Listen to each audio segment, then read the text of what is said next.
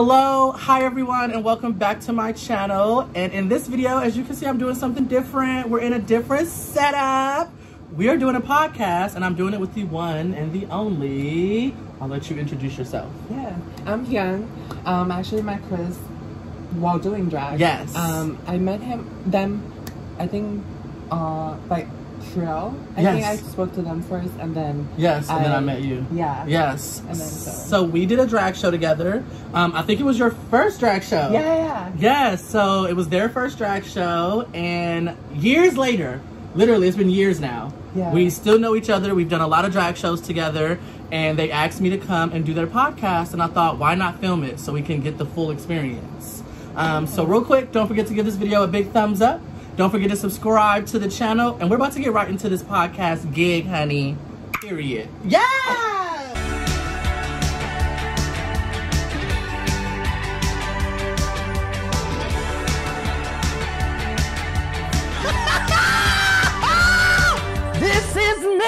Hi everyone, thank you for tuning in to another episode of Canepa. Today I have with me the one and only. Yes, my name is Chris Hankins. Hello, everyone. Yeah. So I met Chris while performing drag. Every time except for two different times Yeah. I've performed with them. Yes. Um, so yeah, it's been it's been a few years. I think it's like four years that we've known each other Yeah. now. Um, but yeah, today I have them over so we can talk a little bit about drag, our experience with drag, Yes. as well as living life as a non-binary person in Yes. the Bay Area. Yes, Yeah. I love that. Okay. So what made you start drag? Like what was What the made pro- yeah? What motivated or inspired you? So when I when I was at Northern Arizona University, I went to my very first drag show, and it was put on by the LGBT club called Prism at the time. And all my friends was like, "You gotta come, you gotta come see this." And I was like, "Okay, I've never been to a drag show." So we go, and I'm watching this drag show, and I'm watching all these people perform. And my friend turns to me and she goes, "I could see you up there." And in the moment, I go, I promise you I said this. I was like, I would never do that. I would, I'm not that kind of gay. That's what I said, honestly. Fast forward like three months later, I was one of those gays, honey. I'm talking wig, makeup, nails. But it happened because my friend Christian, who is still a good friend, who I kind of consider my drag mom, um, he really took a liking to me. Um, I later on joined Prism. I became the president later on as well. Ooh, you know, you know vibes. love that. You know, taking over. And I witnessed how drag made him feel. I saw how it brought light. I saw how it it gave him the attention that like I've always wanted. You know, like just as a gay person, I I like the spotlight, honestly. And drag was one of the ways that I received that. And it was a way that allowed me to express my femininity that I didn't have before. And so I, I fell in love with it. And it was a struggle, you, as you know, learning to do makeup, learning to lip sync and stage presence. And like doing that is not easy. And I think it's something that you learn. And through like all of that is how Coco came about. I mean, I didn't have a drag name at first. Like, Coco Minaj came about because I was gonna name myself Coco Chanel. And I thought that was too cheesy. And I was like, no. And I love Nicki Minaj. As you know, anytime I perform, I do a Nicki Minaj song. Love And that. lo- I live. I- that's like my like, thing. get it, girl. you know a Nicki Get song is coming at some point.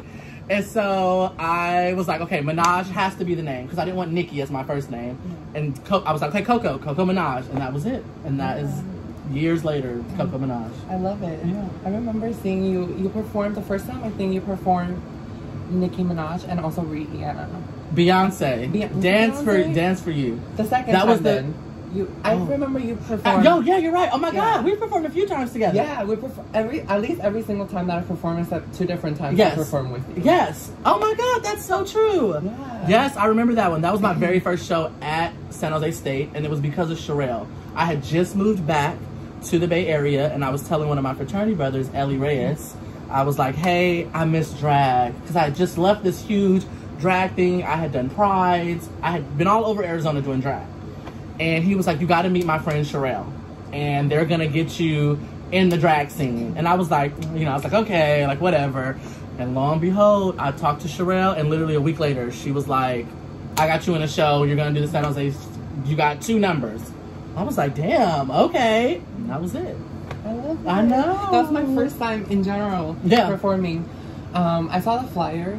I forgot who posted it. Someone on my Instagram posted the Mhm. flyer. Um, and it said that the show was gonna be in like a month or so. Yeah. And I was like, at that time, I was like, I feel like I was starting to n- learn more about myself. Yes, Like yeah. I was watching. I did not know what RuPaul's Drag Race was, and then all of a sudden Yeah. I started watching, and I was Yeah. like, wait, what is this? Yes, yes. This, oh, this is very faggoty. Yeah, very yes, this is very what I'm gonna do. Yeah. Yes. And so I started watching it, and then I was like getting my life, and then I was like, oh, this is cute. And then I saw the flyer. Yes. And like I, the first time I saw it, I didn't even think about performing. I was like, that's not gonna be me, just because like I don't think I can do it. Yes, it's Yeah. it's and it's also the nerves, right? Yeah. Like it's the oh my god, because I thought about it in a okay now I'm gonna like be a woman, and I think as we grow up, you know, we think we're gay, you know, and that's just it. And as I got older and I started to learn about like different genders and different sexualities and like how the two come together, but also are very separate, right? And it made me be like, okay, well, what are you? You know, like, what do you want to do? And even at a point through my drag career, I was like, are you trans? Like, is this, is this what you want to do? Like, what, what if you become a woman full time? Because I thought I, I really like the attention I get as a drag queen, as you know. And I was like, if I could get this 24 7, I will flourish, honey. And then I Yeah. thought, well, let's think about it. And I talked to my friends who identified as trans, and I was like, you know, like, what does it mean? You know, because I didn't want to take on this life just because I wanted extra attention. Yeah. You know what I mean? And through that is what I learned what non binary was, and like not really sticking to one gender, but having traits of both, and being able to live, you know? And so mm-hmm. I was like, wow. And even being non binary, I'm sure as you know, is a scary thing. You know what I mean? Because some days I'll get up and I'll be like, do you want to be super feminine today? You know, I always have nails. So that's like my thing. Yeah. And even through that, sometimes I'm like, uh, so it's it's a funny thing, but I think drag has helped me with confidence, Yeah, honestly. definitely. You know what I mean? And just being a huge presence and not caring. Because I feel like as a drag queen, to a certain extent, we don't care. Yeah. You know what I mean? On stage, we don't give a fuck. We don't.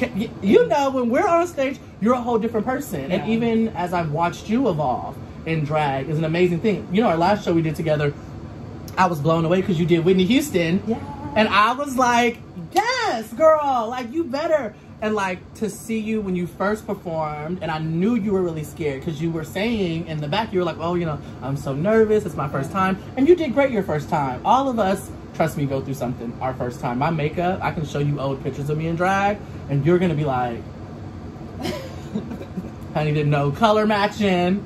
Honey didn't understand that like there's makeup for darker skinned people. You know, like I just Yeah. didn't have all that. And so it trust me, it, it, it's crazy your first time, but to watch you perform your last time was amazing. Like to see the crowd and your energy. You had everybody like singing the song. You were on point. honest to God. I I feel like a lot of it also comes from like the support I feel. Like when I perform at Splash, Yeah.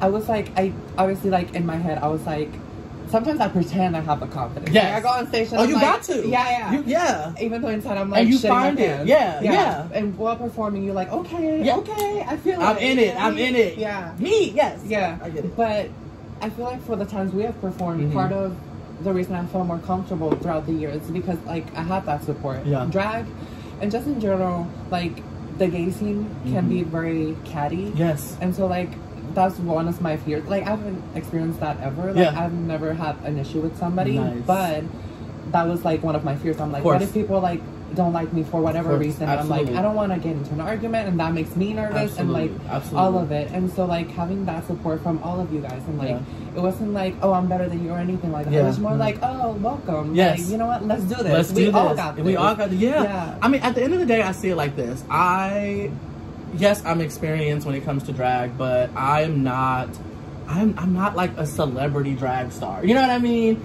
And like even like the RuPaul girls, like I would hope that when even they get together in their circles and their group, it's nothing but love and support. You know what I mean? Because at the end of the day, we are all individuals who struggle like in life. You know, and whether it be your sexuality, your identity, home life, work, like whatever, like drag usually is an escape for a lot of people. And so I could never imagine being mean to another drag queen in a sense, catty and shady, all day, fine. You know, that's just gay life. We'll throw shade at each other, and it's cute little innocent shade. You know what I Yeah, mean? yeah. But I would never want to tear anybody down for doing something that is honestly so huge in my eyes. And it's not easy getting up on stage in front of people. As you know, you performed in front of big people, like huge groups of people and small groups of people. And like, I can't imagine tearing somebody down when you're putting yourself in a vulnerable state like that. Because I feel like when I'm up on stage, that is some of my most vulnerable moments. Even if I'm rapping Nicki Minaj and talking about my pussy wet. You know what I mean? Yeah. Like, that's still a vulnerable moment for me. Yeah. Versus when I do a, a more slower song and I and I am, you know, reflecting on the song, I try to really stick true to doing things that feel right to me. You know, I don't I'm not the type of drag queen that's like I gotta do a top ten pop song. Yeah. That that was earlier drag, right? Because you want those tips, you want those money. Yeah. And as I've learned, when you can connect with the audience, you can perform anything. You can perform A, C, A, B, C, D, E, F, G, and they're gonna love it. You know what I mean? And you know this. Yeah. And so, I don't know. I think it's just like it's an amazing thing, and I don't know. Like drag makes me so happy, Same. and like I I don't want to say that like I don't want to do drag anymore because I'm, I'm getting into this place where I want to merge Coco and Chris, and that's what I've been trying to do. I've been trying to figure out well how do I show up as Coco in my everyday life. You know what I mean? So yeah, I totally get it. Oh my god. Oh my god. Ah! Girl, I'm gagging. We got it all on here. This is homophobic. Ah! Oh my god. What is this garage band? We don't like you, girl. Cancel. This was very homophobic. I literally looked over and I was like, wait, is that supposed to be there? Did it not Girl. get anything? I don't think so because usually there's like the. Ooh. Okay, that's fine. We, we can carry it whatever you want. We don't can want. carry. Introduce Redo it. and Yeah, redo it. Redo it. you That's fine. As I was like performing more and more, and I realized that I do wanted to take it back to Spanish music because Yeah. that's like I grew up in Puerto Rico. and Yeah. It's like that's the music I grew up with. And Yeah, so like I think the first time I no, the first time I performed a Spanish song was the second time performing, and after that I was like. I don't know. This is like something I want to incorporate Yes. from now on. Yes. And so, like, ever since that performance, I think every other show that I've done has had two numbers, Yeah. and I always do like a Spanish, Spanish song for the second one or the first one. That's so good. I think that it's so important to find yourself in drag and like it's important to bring your own flair to it, right? And as as I said, you know, I always do a Nicki Minaj song because I love Nicki Minaj. Nicki Minaj is the person who introduced me to female rap. So like, yes, I know there was like Lil' Kim and like your Remy Ma's and Foxy Browns and all of that. That was not my generation of growing up, right? Like, so growing up, yes, I knew Lil' Kim songs, of course, but she was not out putting out songs as I was growing out. Nicki Minaj came about, and like, I remember the very first Nicki Minaj song I heard was um, she was featured on Mariah Carey Up Out My Face. I don't know if you've ever seen it. It's Is that where they're they're dressed as in red. No, they're yes, and they're all in red, and it's like a Target vibe. Yeah. Yes. very, very. Very Target Target. vibes. Target vibes. You know what I mean? Yeah. And like, I can literally still rap her whole verse. You know do what I it. mean? Do it. Do it for the audience. I should have said that then. Oh my God, what was it? Uh, Mariah, I was wait, no. Ah, wait, We how can play a snippet We'll play a snippet of it. okay. Let's play a snippet of it. Let's see. Let's, Here, let's, let's see. do it. Let's oh my God, let me give. want. Okay, let me see. Give the gays what Let they me need. see. It, uh, uh, Mariah, I was in the million dollar meetings. He was cheating. All up in the church, he was sneaking with the deacon. Cats away while the mice will play. LOL, smiley face, have a nicer day. That's all I remember. Period. Period. You know what I mean? So like, but like, the point is, I heard this woman and I was like, I never heard a woman flow like this or spit like, and I was like, Yeah. wait. And so that started my love for Nicki Minaj. And when I started drag, I was like, you gotta have something with Minaj because I wanted to be this fierce woman and like who had this huge presence and was beautiful. And that to me at the time was Nicki Minaj. That's that's what I perceived it as. And so that's how Coco Minaj came about. Yeah. And you know, to this day, you will hear a Nicki Minaj song from me. And sometimes I do songs that people, it's brand new and people don't even know her verse yet. And they're like, okay, okay.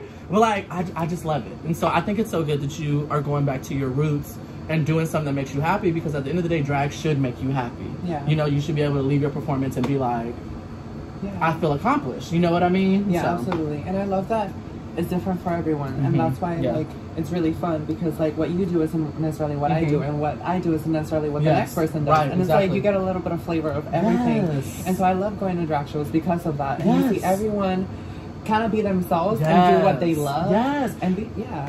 it's amazing because I think, for like example, when we did the first LaRouche drag show, all of us are so different, and all of our drag styles are so different, and it made such a good show. Like that show, literally today is probably one of my top three favorite shows that I've ever done. I love that. It was it was so much good energy.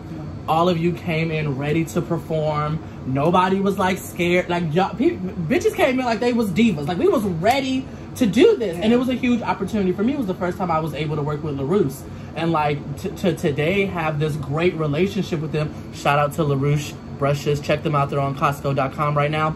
I didn't know they Um, yes, honey, Costco.com. Get you a brush set. Um, and like I, and I got that because of a friend, Megan, you know, who works there. Yeah. Like, she is dating my fraternity brother. And, like, the fact that I had that connection and they were like, yeah, like, let's do a drag show. Uh, They didn't feel weird about it. They embraced us. They made sure we had everything we needed. And it just overall was such a good experience. You know what I mean? And it was it was just so good. That was today one of my favorites. Same. Yeah. Honestly, same. Um, I was very honored when you asked. I was like, oh my god, yes, I love the drag, and like I love performing with you guys. Yes. I, I don't know if it's because like the first time I performed it was with you guys, Yeah. but I've, I don't know. I feel like comfortable with Yes. you guys, and so like Yeah. when you asked me and I saw the set list, and Yes. it was pretty much all of us. So I yes. was like, oh You- hell it yeah, was everybody. I had to get the girls back, Yeah. and also because I just I, I you know I love Sherelle. I think that Sherelle is first of all so funny. The energy that they have is just crazy. You know what I mean? And I love that. And Betty Fresca, as you know, who is literally like taking the world by storm right now. Oh. Honestly, Sephora, Sephora, and like everywhere. everywhere. You know what I mean? And so it just shows you that like although we all live our separate lives, right? And we live our own like identities and we're doing our own things separate, when we come together, we know it's going to be a good show. You know what I mean? Yeah. Because like we're bringing in everything that we have. And like it's it's amazing. You know, I would literally do a show with you all all the time. I I would Let's have a always ask you all. No, for real. I would always ask you all if I ever get the opportunity after you know COVID. You know, COVID girl, she's really running things right now. Um, Fuck that hoe. uh, catch me outside. How about that? But like, I want to do something again with all of you. You know what I mean? We got to to like celebrate and just be with each other because I feel like everybody is so different. Everybody's doing so good. You know what I mean? It, it, it would be crazy. I would love to. Of course. You know you're in when it. Rona You know like you're in it. gets the fuck out of here and starts Oh. ruining our lives. Oh, the drag show is gonna be. Ooh, it's gonna be fire. We're, you know I'm performing WAP. You know I'm gonna do a nasty moment. yes. Cause you got to. Yeah. You gotta bring the people back in. What's one of your best experiences performing in drag? Or like doing drag in general? Doing drag in general, that was one of my best experiences. So when I was in Arizona doing drag, I went from doing shows for Prism, right, and then Christian, who was my drag mother, her name is Candy Lipinski. Um, she started to get gigs at bars downtown, uh, Flagstaff, and so she, of course, invited me to do these shows, and we did countless shows, and it got to a point where we were literally probably doing two shows a month, you know, like one in the beginning, one at the end, and th- those, first of all, were some of the most funnest times of my life getting you know as you know getting dressed with everybody chit chatting and you go from you know us to being them you know what i mean Yeah. and it it's it's, it's crazy it's like you turn into a celebrity within hours as you know Yeah. And I think one of my favorite things was we got invited to do a drag show at Embry-Riddle, which was in um, like Tucson, Arizona, or something like that. So we had to drive to get there. And so it's me, Christian, another friend. It's like four drag queens literally in a car. We're all full drag, Love honey. it. Full drag, driving through Arizona, honey, to get to a drag show. Love So that. we get to this place, and first of all, honey, I don't even think they knew what drag queens were. Like that is how it was. It was very much kind of like What is going on? when we walked in, you know, they were shook. They were shocked. And I remember being like, they they go shoot us here. Like we about to die. No, Like, for real. Let's talk about it for a minute, No. though. It, it's a fear. It's a like, fear. yeah. Anytime I go out, just as me in general, as a non-binary individual, when I put myself in certain environments, I do have to be more cautious, and I do have to think, okay, let, let's scope out the area. Let, let's fill the vibes out. You know, there's I think there's a really huge reason why people like us or non-binary individuals we don't go to a lot of straight things. You know, I Yeah. don't honestly. I don't go to straight clubs anymore. Um, I won't go to like straight hangout spots. I do try to look for more queer friendly places, um, just so I can feel comfortable. Same. You know what I mean? Because like I'm not your average person, and you know, as you know, Yeah. and I luckily now in my adult life I understand how to navigate around um, certain things when it comes to my my you know me being non-binary. Yeah. Um, but that also has made me very guarded. It's made me become very like protected and even sometimes closed off to the idea of doing things. Um, like I'll, sh- I'll share a quick story about me going to Vegas. As you know, I'm going to Vegas for my roommate's birthday. My roommate is a straight male, um, and I I had to sit him down and have a real conversation with him and say, "Hey, I need you to understand that this life that I live, you're going to start to see more of what this looks like." and more of why I can be very closed off in certain situations. So, for example, going through TSA. I don't know if you've had this experience with TSA. Anytime I go to the airport and I go through TSA, I literally have to go through the scanner thing nine times, honestly, because I present. I, I look female, right? Mm-hmm. But you know, as you go through the scanner, they'll see some name right. You know what I mean? and so But that was a business. Right. But also, I don't think that they're well trained enough to handle certain situations like that. So instead, it's kind of like, oh, go back again, or go back again, or let me call this person over. And then it becomes like this awkward, uncomfortable moment for me. And I used to not fly, honestly. I would be like, I'll, I'll drive. Because I, I wouldn't want to put myself through that. Now, as I've gotten older, I will set myself up for success, right? So, like, I will put my ID out in the little bin so they can see it. You know what I mean? Yeah. So that way, if if I do go through and they think, oh, woman, at least on my ID they see male, and so they can just quietly do what you need to do Yeah. and let's go. And so, I But- feel like, yeah, okay. no, go. I feel like to a certain extent, I do that, but with like clothing. When I feel Oh. like I'm not gonna be safe, or like Yes. I'm like I get a lot of anxiety, Mhm. even going to TSA or like anything major, like Yeah. where you know, like I'm not in control of the environment. Yes. It's very scary. And Yes. so like when I do find myself in like those type of situations, I usually, even though I shouldn't have to, I do dress more masculine yes, or more Oh God, male-like. of course, absolutely. Because. I'm like, I just want to avoid having to have that conversation and also just being like, ask questions that I don't want to be asked. And you know what I mean? So, like, I usually put, try to protect myself in that way Yeah. of like dressing differently so that I won't get harassed. Because I've been harassed yes, multiple times in Yes. downtown San Jose. Like Yes. I've been yelled at, I've been Yeah. called faggot, Mhm. I've been like, you know what I mean? And so like I do understand where you're also coming from when Yeah. it comes to like straight places. Because. I'm like, this is not a, this is not for me. yeah, it's like not, they do it's- not welcome me. Yeah, it's not And- a welcoming environment. Yeah, and it's not to sound pessimistic. Like I Yeah. know a lot of people are allies, but Yes, it's a safety thing again. Yes. Going back to that, like we're Mhm. not always gonna be in a safe space. yeah, So we always like I feel like at least for me, like I always am looking over my shoulder. Yeah. Like I'm never oh, at ease in No, public. no, Yeah. never.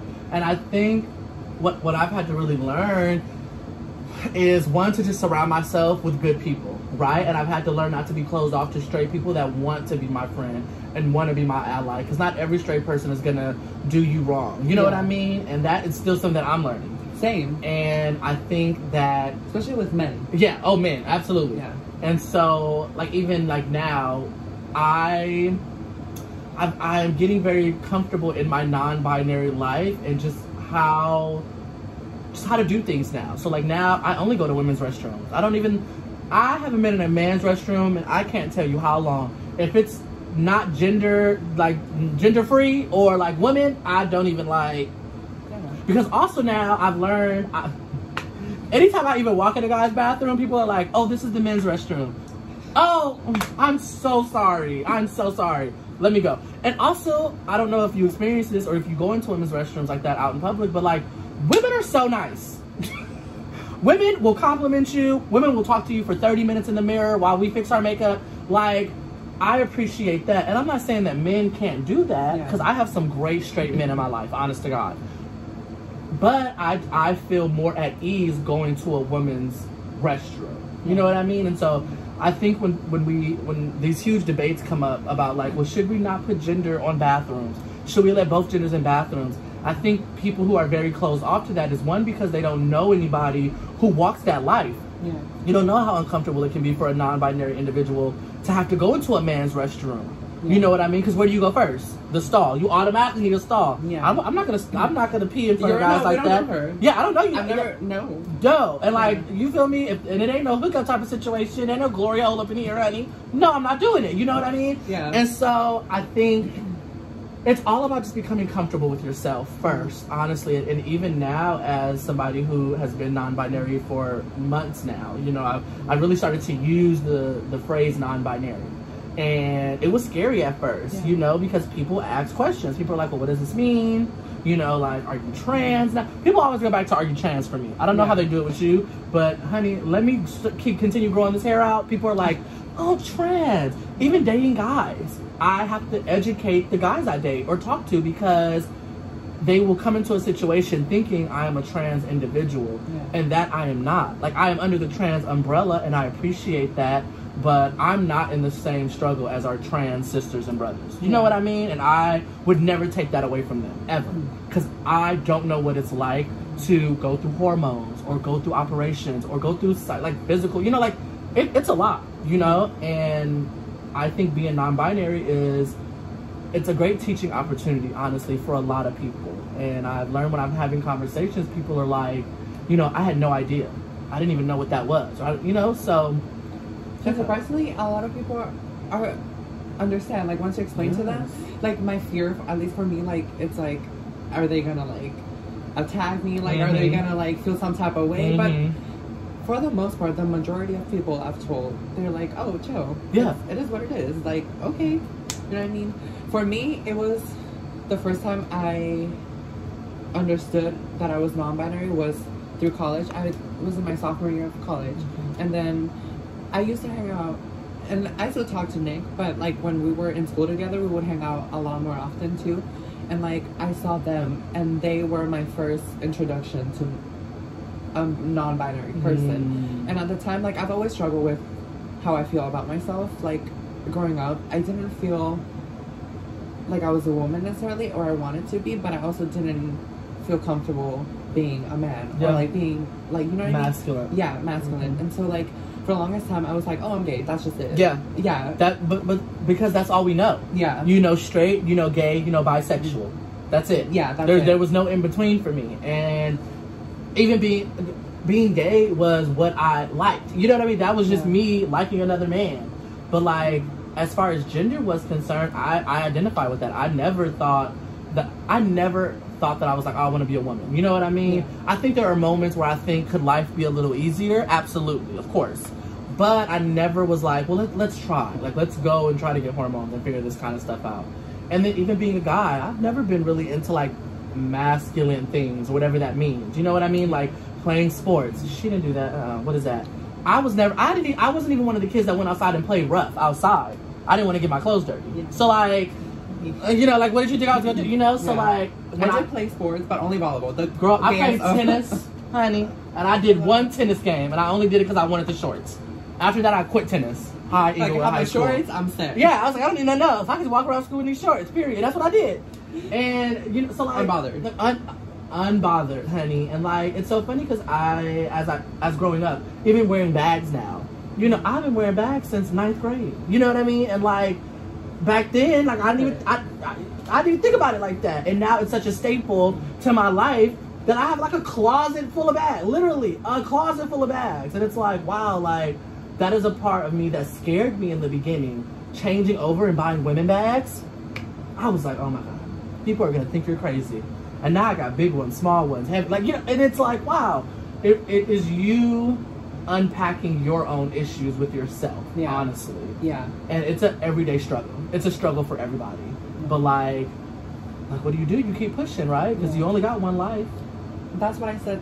Like I've had these conversations before, and I was like, I'd rather put myself, even though I know I'm gonna be at risk Mhm. in certain situations by being visibly queer. Yeah. I'd rather do that than to Mhm. live a life that I'm not happy. with. Yes. Like I don't want to die, and like, why am I living a life for other people? They don't give a shit about me. Like, why am I even Yes. str- Like, why am I gonna be someone for people that aren't in my aren't Mm. even in my life Mm. or aren't even like important to me. Right, I'm like right. that's not living. Yeah. And if they were in my life, they would understand that you know this is just how it is. this is how it is. This Yeah. is me. And like honestly, I think that people, the people who are in my life that are not non-binary or not in the LGBTQ family or whatever, um, I get told a lot that they have so much respect for me because I do live out loud and bold. And as you know, queer people, you know, I have dated people who are not out. I have dated men who, um, you know, have kids or what, you know, and things like that. Um, and through that, I've had to learn how to self love myself and understand that I can't look for the affection that I think I want from someone else to complete me wholly. You know what I mean? Even in like relationships, you know what I mean? Like, normally nine times out of ten, I'm usually someone's first person, non-binary individual that they're dating or even sleeping with, and so I've had to learn not to take it so personal anymore. Because one, yes, I'm here to help you and be there for you if you want that, but I'm not here to be anybody's crutch yeah. because I had to go through it on my own and I had to figure out when it made sense to me and everybody has to go through that. You can only help people so far and I think it's hard for me being non-binary because I just want to help everybody. I want everybody to understand that like you are an amazing person. You deserve everything you think you need and want no matter what someone says or what someone did to you like you gotta you have to move on in life. And like one of the best things someone told me which i said in my youtube video was you have to be okay with not receiving the apologies you felt you deserved. And like that was when i was going through a time where like people were like leaving me left and right. Friends boyfriends family. And just the world seemed so crazy and i became very hard and angry. And i expected people to show up like i showed up and apologize and worked it out. And i realized that wasn't the case. People didn't see it that way. And so being non-binary and being feminine, being out loud like this, you I've had to learn that if I don't love myself, when I find out that other people didn't love me how I thought they loved me, it, it'll destroy me. You know? And so that's why now you see me like living out loud and you'll see me on YouTube like crying my eyes out because I thought I liked this guy. And like it's embarrassing at first. It's very embarrassing to be vulnerable in a setting where you don't know who's gonna watch it, right? When I put those videos out, I was like, immediately I was like, oh my god.